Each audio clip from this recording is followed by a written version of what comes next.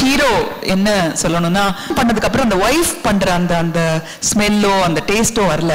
So அப்போ ஞாபகம் வந்தது போல இருக்கு. நாலாவது ஷெல்ஃபில் வந்து மேலே ஒரு சீக்ரெட் இன்கிரீடியன்ட் ஒன்று இருக்கு அப்படின்னு சொல்லிட்டு அதை எடுத்து பார்த்தா அதுக்குள்ள ஒரு பேப்பர் இருந்துதான் ஒரு சின்ன பொட்டலம் இருந்துதான். அது பிரிச்சு பிரிச்சு பிரிச்சு பார்த்தா கடைசியில் it is not enough if you put the right ingredients to your dish you have to add one special ingredient call love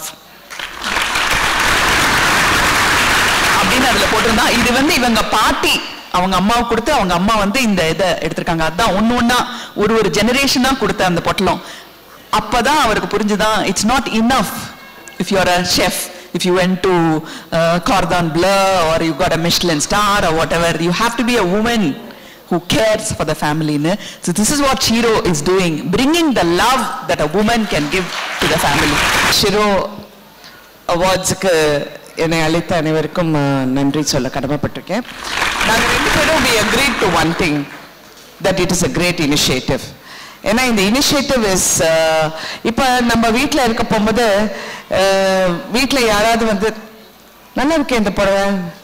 அழகாக இருக்கே? அப்படின்னு சொன்னால் எவ்வளோ சந்தோஷமா இருக்குது ஏதாவது ஒன்று சமைச்சு அவசர அவசரமாக வச்சுட்டு போனால் ஆ இன்னைக்கு சட்னி யார் நீ செஞ்சியா? ரொம்ப நல்லா இருக்கு அப்படின்னு சொன்னால் எவ்வளோ அப்ரிஷியேட் பண்ணுறோம் அந்த அப்ரிசியேஷன் வந்து is inbuilt and we are used to it but வீட்டில் இருக்கிறவங்களுக்கு எவ்வளோ பேருக்கு இந்த மாதிரி ஒரு பாராட்டு செய்கிற ஒரு ஸ்டேஜ் கிடைக்கும்.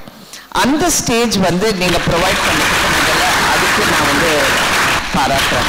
Because everyone needs encouragement they need something for the soul அவங்க ஆத்மாத்மா ஆத்மாத்மாவா ஒரு ஏதாவது அவங்கள பாராட்ட போகும்போது அவங்களுக்கு வர சந்தோஷம் வந்து அதுக்கு ஒரு எல்லையே கிடையாது. அதனால நீங்க பண்ற இந்த விஷயம் இன்னும் மேலும் மேலும் மேலும் வளர வேண்டும். You have to really break the ceiling because இப்போதான் நான் நிறைய விஷயங்கள் இதை பத்தி நான் கேட்டுக்கிட்டு இருந்தேன்.